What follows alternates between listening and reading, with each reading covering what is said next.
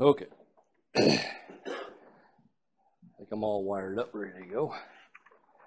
Do appreciate everyone being out, I have an opportunity to to present God's word, and, and I pray that I do so respectfully. If there's anything you disagree with, please let me know. I'd be more than glad to study along with you. God has riched us, has richly blessed us in this life. He has given us dominion to use or to misuse any and all of those blessings. He allows us to decide for ourselves what choices we want to make. And unfortunately, we don't always make the right decisions. We don't always make the right choices. Our lesson this evening is really about choices and making, hopefully, the right choices. But to illustrate the point that the Lord has given us choice, we're going to look at a number of different areas uh, uh, by which we can just examine. I'm sure there's far more than what I'm even presenting as far as the kind of choices that we are actually making on a daily basis. We're going to start with wealth. Ananias and Sapphira, really a couple of individuals, Christians, if you will, that really aren't unlike us. They had some wealth, yet they weren't called on the carpet for what they had, but how they used what they had. Before the land was sold, and even after the land was sold, the Apostle Peter reminds them that they had a choice given from God to use the land and the money in whatever manner they desired. It wasn't like they had to do what they did. They could have chosen to do something that was correct, but rather they chose to do something that was wrong. Let's going to reread verse 4 of Acts chapter 5. Peter asks them, While it remained, was it not your own? And after it was sold, was it not in your own control? He's saying, You've got a choice. The Lord didn't do anything here, it was totally up to you. You could have kept the land, you could have sold the land, you could have, but what they did is they sold it and then presented it to the apostles as though the half price that they actually acquired was the full price. And really, Peter calls them on it. Why are you lying? it, there's no reason to, to lie. Why, why did you choose to do that? You see, they had a choice to make, apparently, tempted in some manner. Greed, wealth, as it is, as it is, a lot of people want it and want more of it. So I guess they decided in their hearts that they were going to be deceitful. Now, God has given us all the ability to choose how we want to use our money. God isn't over your back saying you have to use it this way or that way. But, folks, we can't be using it in illicitly. We can't be using our money for wrong purposes or wrong reasons. I could decide how much to spend on my bills. I can. And how much to share with others, and how much I want to give back to the Lord. You see, those are choices that I make every week. It's our choice to give a little back to the Lord or a lot. Going over to 2 Corinthians chapter 9. Let's read verses 6 and 7 of 2 Corinthians 9. But this I say, he who sows sparingly will also reap sparingly. Now understand, he's talking about money here. And he who sows bountifully will also reap bountifully. So let each one give as he purposes in his heart, not grudgingly or of necessity, for God loves a cheerful giver. Now notice who gets the choice as to how much to give uh, or whether or not to even give. He says, So let each one give as he purposes in his heart. In other words, that's your choice. The Lord's given you a choice.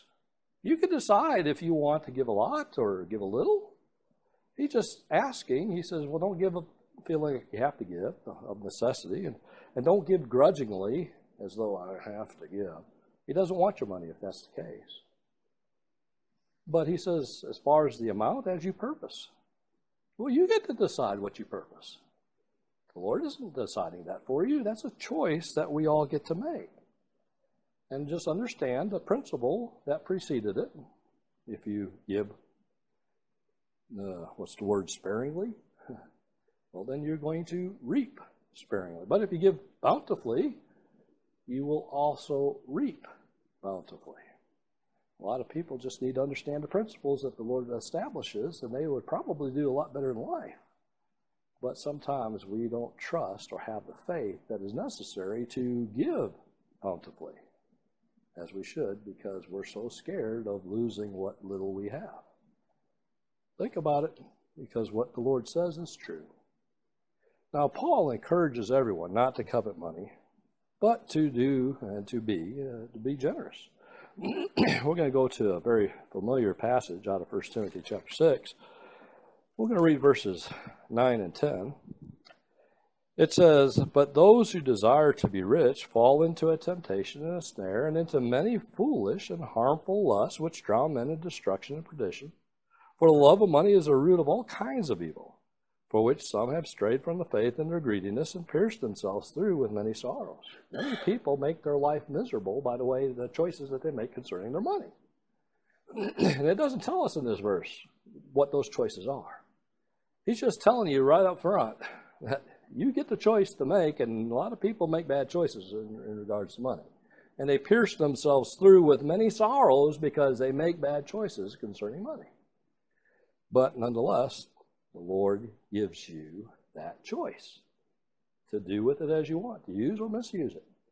But understand there could be consequences. Going over to verse 17 of the same chapter is to command those who are rich in this present age not to be haughty, nor to trust in uncertain riches, but in the living God, who gives us richly all things to enjoy. Our source is really God. And so here, Paul's encouraging Timothy that he needs to make good, wise decisions with the money, or with those who have money, need to be encouraged to use the money wisely. Again, he's encouraging choice, good choices, because we all have choices in life, and wealth is just one area of choice.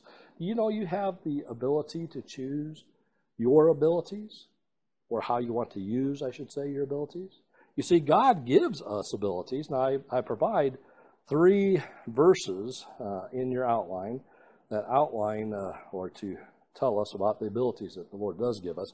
I'm just going to use uh, Romans chapter 12, verses 3 through 8. For I say through the grace given to me to everyone who is among you, not to think of himself more highly than he ought to think, but to think soberly as God has dealt to each one a measure of faith.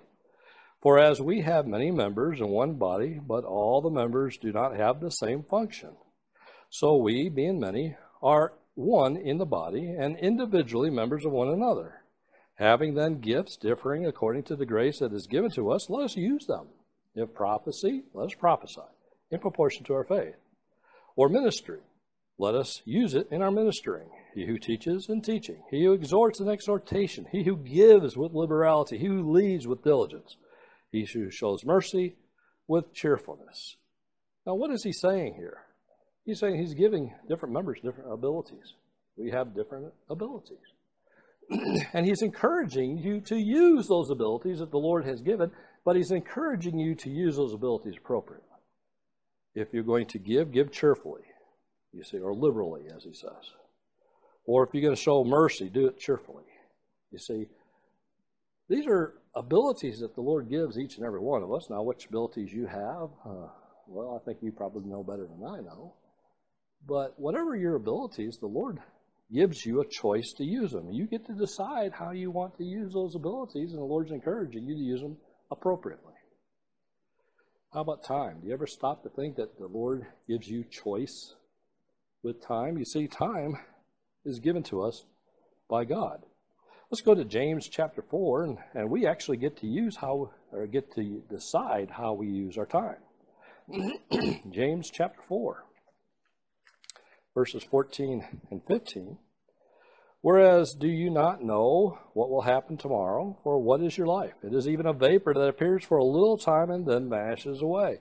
Instead, you ought to say, If the Lord wills, we shall live to do this or that. But notice who gets to decide if we get to do this or that. You see, the Lord says, Don't forget about me. Time is short. The Lord gives you time, but it's short. Don't think you got all the time in the world. You know, that would be a bad decision, you see. You need to use the time that the Lord has given you, and the Lord allows you to choose how to use your time. And He says, just don't forget by who controls the time. So, how do we use it? Do we use it in our Bible studies? Do we use our time that we have to study God's Word? Or do we use our time to teach others? Or do we use our time to worship God? Now, here I think we do very well as compared to other places that I've been. But are we? And you are the person who knows more than anybody else knows if you're studying or taking the time to do these things. We do very well in our worship, but yeah, I see that. But how do we do in our study? How do we do in our teaching? How do we do in other facets of the time which the Lord gives us? Do we spend our time helping, encouraging other individuals, whether it be family or members of the church? How, how do we use that time? Lord gets lets you decide. Pray that you use it wisely. You see, we don't want to waste it. It's our choice. How about our bodies? You know that the Lord gives us bodies to use, and we get to decide how we want to use those bodies. Now, again, the Lord's encouraging us not to use our bodies wrong, because again, with choice, we could do it right or we could do it wrong. And of course, the scriptures always are encouraging us to use what the Lord has given us properly. 1 Corinthians chapter 6, verses 19 and 20. Or do you not know that your body is the temple of the Holy Spirit who is in you, whom you have from God, and you are not your own? Now understand, the body that you have, if you became a Christian, is not your body. For you were bought at a price. What price? Christ's death upon the cross. He paid that price to make you a Christian. Therefore, glorify God in your body and in your spirit, which are God's. Now, you have a body, and you can use your body however you want to use your body. The Lord gives us choice, but you don't want to use it wrong. You don't want to misuse the body. God gave it to us to use. So, do we glorify God in our bodies, or do we degrade Him by using our bodies for things like alcohol and tobacco and fornication or adultery or you name all the homosexuality, just sodomy? I mean, just keep going. There's a lot of sins involved with the body. How do we use our body? It's our choice. The Lord encourages us to use and make good choices. How about influence? I don't think we think too much about our influence, do we? We kind of wonder if we even have any influence in this wicked world in which we live. But going over to Romans chapter 14, we get to choose whether to serve the Lord or serve ourselves. Romans chapter 14 and verse 7 none of us lives to himself and no one dies to himself. We don't we don't live in a bubble. we don't. We're not living in a vacuum. We live amongst people. And we don't live for ourselves, and we don't die for ourselves. Folks, we live for others. We live for the Lord. We need to make good choices concerning the influence in which we have. We're here to influence others. Life really, uh, despite what you might gather in the world, life is not about survival. That's not really the, the, the goal. Life, in many ways, is, is about others, about helping, getting people to heaven. Who knows how to get to heaven? We do. How many people in this world, in this city, in this town, know how to get to heaven? Well, I think if you ask, you probably, like that man on the street interview, and you ask him how, I'm sure you'll get a wrong answer every time. Why? Because people don't know. They think they know, and so they'll tell you what they know, but what they know is not correct. So we need to work on using our influence. Now, conversely, we can choose to be influenced adversely by others. And a lot of people do that. Remember, evil companions corrupt good morals, according to 1 Corinthians 15 33? And a lot of people allow that, allow the corruption, allow the, the wrong information to go in, and, and then end up losing their souls as a regard. Again, it's our choice how we want to use our influence.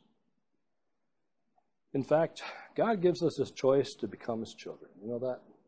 He allows us to decide if we want to become a Christian. Now, I'm not going to talk about how to become a Christian per se, but let's go over to John chapter 1 and read verses 12 through 13.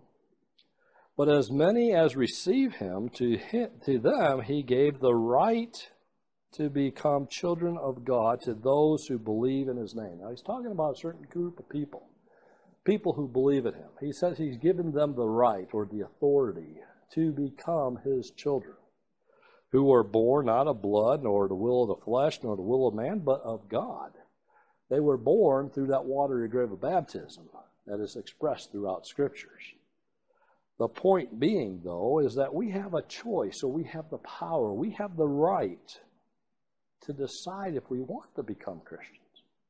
I often wonder if we even consider what decisions we make in regards to becoming a Christian because I think a lot of Christians, as we talked before, don't realize the cost of becoming a Christian. But that perhaps is a different issue at a different time. We have that ability to choose if we want to become a Christian. Now, it's not given to us by some bloodline, like it was in the Old, Old Testament, Jewish. It's not given us to, to us as some kind of birthright. You're the first person born in family, so therefore you get it. No, that's not how it works.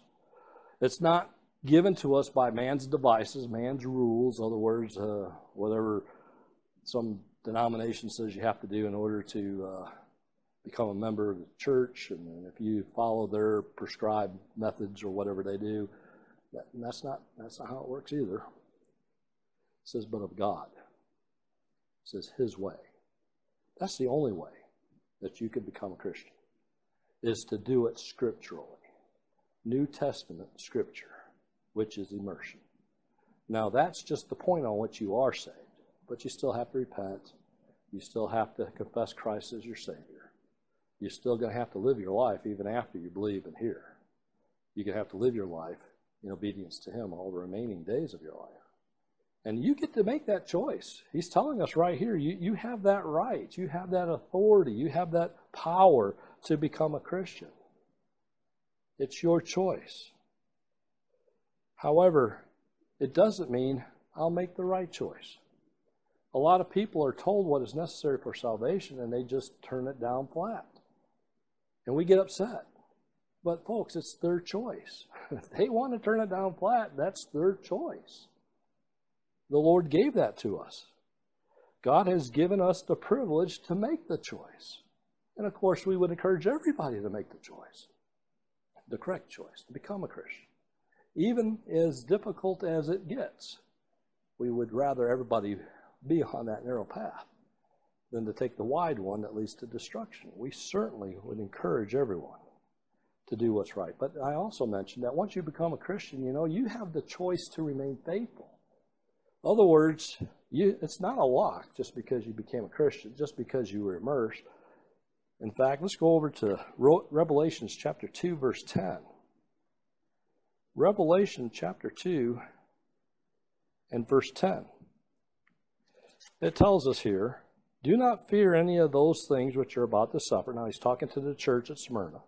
Indeed, the devil is about to throw some of you into prison that you may be tested, and you will be, have tribulation ten days. Be, be faithful unto death, and I will give you the crown of life. Now, why does he say be faithful unto death? Because he knows they got a choice. when, the, when the trials come, and in particular, he's talking about martyrdom here. When, when you're being told to denounce Christ or die, you got a choice to make. He says, Be faithful unto death, and you'll receive that crown. But you have a choice, even after you became a Christian. Your choice as to whether or not you want to continue to be faithful or not. Is your physical life more important to you than your spiritual life? That's your choice. You get to decide that. Nobody's going to take that from you. You're the one who decides that. And so when you stand before God, understand you're just going to have to account for what it is, the choices you made, but that's another choice that we get to make. Whether or not we want to remain faithful. The early church had a rough time with physical persecution. But here, John encourages them to be faithful because he knows that many will choose not to be faithful. And, folks, more people, more Christians in the first centuries chose not to be faithful than did choose to die. more died, or excuse me, more did not die. When the emperor said, denounce Christ or die, more chose not to be Christian. But that's your choice. People, folks, will give up their faith for far less than physical, persecution, far less than their life. People will give up their faith for a drink of alcohol. People will give up their faith for a good looking woman or a number of other things. Folks, that's the reality. So, whatever the temptation is, understand that's your choice. The Lord is giving it to you. He encourages you to make the right choice. And we need to encourage one another to always make the right choice, but uh, it doesn't always happen that way. In fact, you know, God is willing to forgive us of our sins. But you know, whether He forgives us of our sins oftentimes is our own choice as to whether or not we want to ask Him for forgiveness of our sins. Let's go to John chapter 1, or 1 John chapter 1, and let's read verse 9. If we confess our sins, He is faithful and just to forgive our sins and to cleanse us from all unrighteousness. Notice the if. If is conditional. that means if you choose to confess your sins, then yeah, the Lord will forgive you. You've got to be repentant, but you, yeah, the Lord will, and He'll cleanse you from your sins. In other words, He'll, he'll forgive you. And you won't have to be worried about it. However, it's our choice whether we wish to obey Him, whether or not we wish to even ask Him to forgive us. That's why that continual cleansing is so, so terrible because it gives the idea that you don't need to even ask. And here the Lord says, if you do, meaning if you don't, you don't ask to be forgiven, you're not going to be forgiven. Is that really hard to understand? If we repent of our sins, God will forgive us. However, we choose whether to repent and ask for forgiveness or not. It's really left up to us. We get to choose that. And the Lord is faithful on his end. He says, I'll forgive you every time. you repent and you ask for forgiveness. It's, it's a done deal. Really, the, the burden becomes ours as to whether or not we want to repent and whether or not we want to ask for forgiveness. So, what we kind of covered here this evening, we all have the privilege to make choices. The privilege to make choices was given to us by God. In fact, we just covered a, a number of different facets about eight of them, areas that we make choices probably on a daily basis. But, folks, we make far more choices than that every single day. And God gives us that privilege to make choices. Now, God is watching to see what choices we make, and He will be our judge on that final day. So, if we make bad choices and we don't get them corrected, we could face eternal consequences for that we need to, to pay attention to our conduct. We need to pay attention to everything, every facet of life, and make correction as we become aware. Because we don't want to be flat footed on the judgment day. Do we want to hear the Lord ask us on that final day, well, was it not your own? Wouldn't that be saved to hear that? Well, wasn't it your choice? Wasn't it your own? Didn't you have that ability to decide to do what was right, but you chose to do what's wrong? Wasn't it your, wasn't it your decision to be evil? You see, we can't say, well, you know, I, I, I didn't, I didn't know, I, I, didn't, I didn't know what to do. I, I, no, it, you, you knew. You had a choice to make. And unfortunately, more people are going to choose the wrong choice than the correct one.